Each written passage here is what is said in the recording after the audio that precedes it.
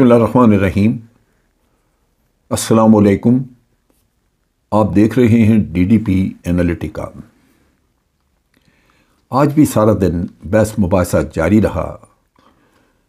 तस्लीम हैदर के उन बयान पे जो उसने इंग्लैंड में दिए। फिर तजिया ये भी किया जाता रहा, इस पर भी बातचीत होती रही कि मियाँ फैमिली क्यों वहाँ से अचानक इंग्लैंड से यूरोप की तरफ़ रवाना हो गई। तीसरा इशू जो था, वो जो इस पर बातचीत हुई, वो मियाँ शहबाज शरीफ का टर्की का दौरा। आप इनसे, अब अब आप इनसे इन चीज़ों पे अगर हम बात कर लें तो कुछ चीज़ें वाजह होंगी कि ये हो क्या रहा है। पहली बात यह है कि बहुत सारे जर्नलिस्ट तस्नीम हैदर के पीछे लगे हुए थे खोज निकालने के लिए कि ये पता किया जाए कि जो कुछ ये कह रहा है वाकई दुरुस्त है। और क्या ये अपने तौर पे ही इसने ये बात करनी शुरू की है या इसको किसी शख्स ने लॉन्च किया है? जो अंदर की बाज़ बातें मेरे तक पहुँची हैं इंग्लैंड से, वो ये है कि ये आदमी जेनुनली मियाँ फैमिली के काफ़ी करीब था। उसने बहुत सारी ऐसी वीडियो क्लिप्स रिलीज़ की हैं और तस्वीर रिलीज़ की हैं जिससे पता लगता है कि वो मुख्तलिफ़ अवकात में, मुख्तलिफ़ वक्तों पे वो इस फैमिली के साथ रहा है और बाज़ जगहों पे वो मरीम को ड्राइव करके लेके जा रहा है हॉस्पिटल पहुँचाने के लिए और इस तरह, जिससे लगता है कि वो इसी इनके इर्द गिर्द वो हर वक्त मौजूद होता था, या अक्सर अवकात मौजूद होता था। दूसरी जो बात सामने आई है वो ये है कि ये नासिर भट्ट के बहुत करीब था, नासिर भट्ट के साथ इसकी बड़ी दोस्ती, कुर्बत और यहाँ तक कि घरों में आना जाना, फैमिली, बच्चे एक दूसरे के साथ मिलना, खेलना, वो बहुत बड़ी इनकी एक आपस में, जान पहचान या आपस में मिलना मिलाना था, कुर्बत थी। और नासर भट्ट का जो इस पर अतमाद था, इस कुर्बत की वजह से वही अतमाद ज़रिया बना इसका मियाँ नवाज़ शरीफ के साथ कुर्बत का। चुनाचे एक जब ट्रस्ट वर्दी आदमी आपको नज़र आए तो फिर आप ये नहीं सोचते कि इसके सामने ये बात करनी चाहिए या नहीं, लेकिन ये किस्सा हुआ। तीसरी बात जो मुझे वहाँ से इतला मिली, समझ आई, वो ये है कि जो कुछ नसीम, ये तस्नीम हैदर जो कुछ बातें कर रहा है, ये बहुत हद तक ये बातें दुरुस्त हैं और वाकई ये सब कुछ हुआ।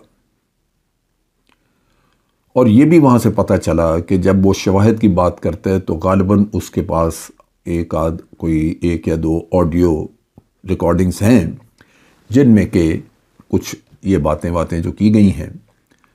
इनको वो ला के सामने रख सकता है सबूत के तौर पे। अब बात ये शुरू हुई कि फिर ये अचानक मैदान में क्यों आया? आज ही लंदन से मुझे एक सोर्स बता रहा था, एक अपने जर्नलिस्ट हैं वो। उनकी तहकीक ये कह रही है कि इसका बुनियादी तौर पे झगड़ा हुआ है नासिर भट्ट के साथ।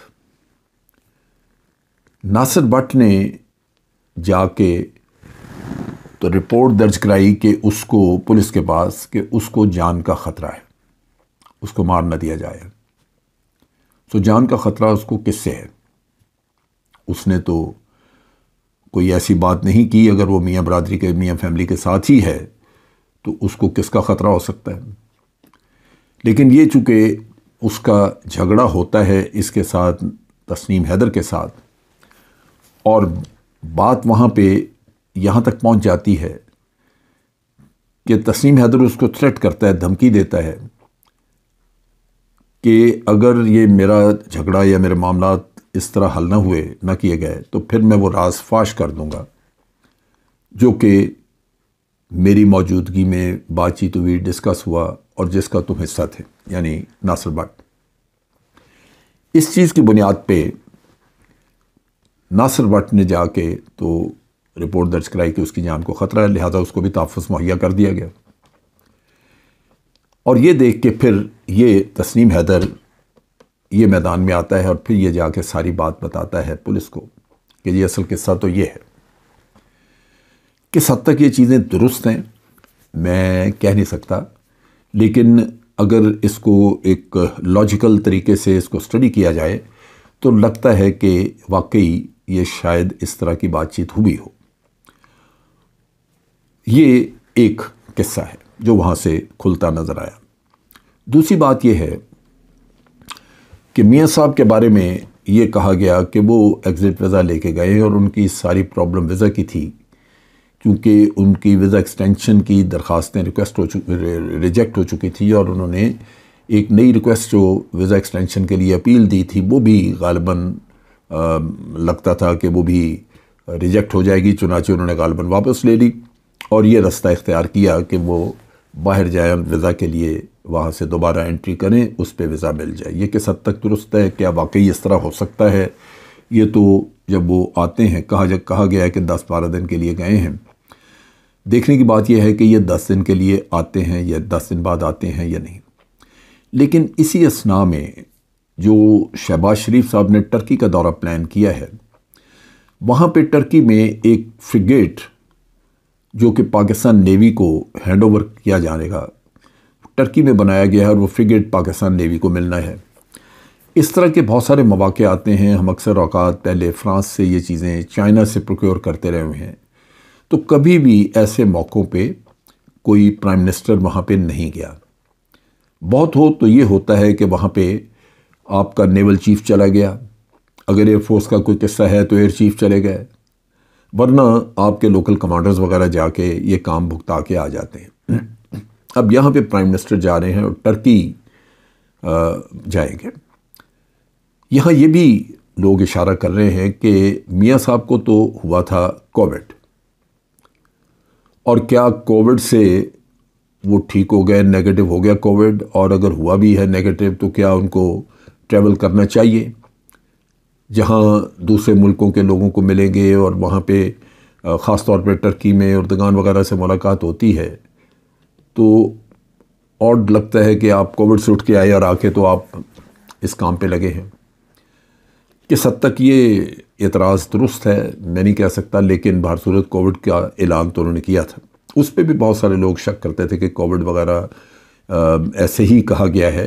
दर हकीकत जो माजरा है वो ये है कि मियाँ शहबाज शरीफ बचने चाहते थे उन सवाल से जो उनसे लोगों ने लंदन में उस केस के बारे में करने थे जिसमें उनके ख़िलाफ़ फैसला होता हुआ नज़र आ रहा है। लिहाजा उनसे बचने के लिए उन्होंने ये किया, खुदा बेहतर जानता है, लेकिन ये भी एक राय थी। अब इन सारी चीज़ों को हम देखें तो वहाँ पे कह कहा यह जा रहा है कि टर्की में मियाँ नवाज़ शरीफ भी पहुँचेंगे। सारा ख़ानदान उधर होगा। अब टर्की से लंदन से जाना तो सारा ख़ानदान गया, उसमें नवाज़, हसन नवाज़ वगैरह ये लोग भी शामिल हैं। इनके पास तो वहाँ की सिटीज़नशिप थी इंग्लैंड की। सो ये क्यों गए वहाँ से? यानी जिन लोगों के पास, जिन बच्चों के पास सिटीज़नशिप है, वो भी वहाँ से गए हैं। और मियाँ साहब का वीज़ा था, बाकी मरियम अब गई, उसका वीज़ा तो अभी छः महीने चलना था।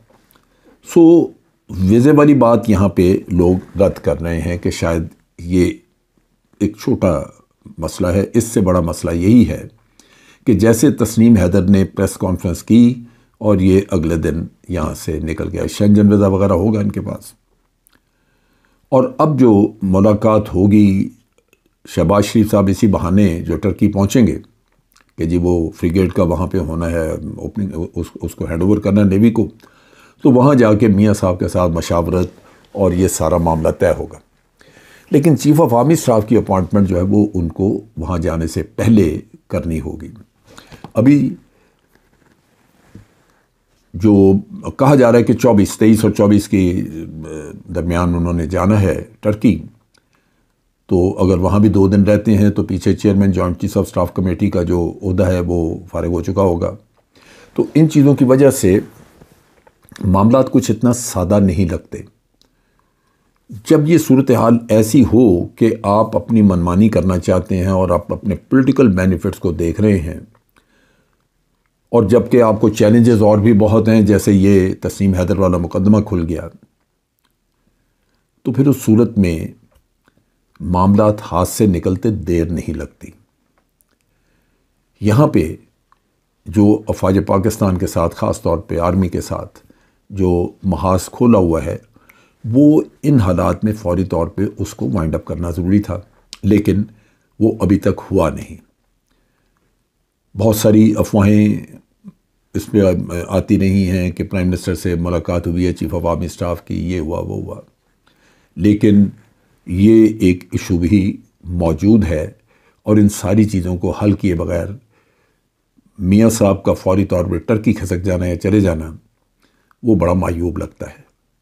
सो इन्हीं चीज़ों से आप अंदाज़ा लगा सकते हैं कि यहाँ पे इस वक्त सियासत जो है वो बड़े एक एक, एक इंतहाई टेढ़े मोड़ पे खड़ी है। इसमें मसाइल ही मसाइल हैं।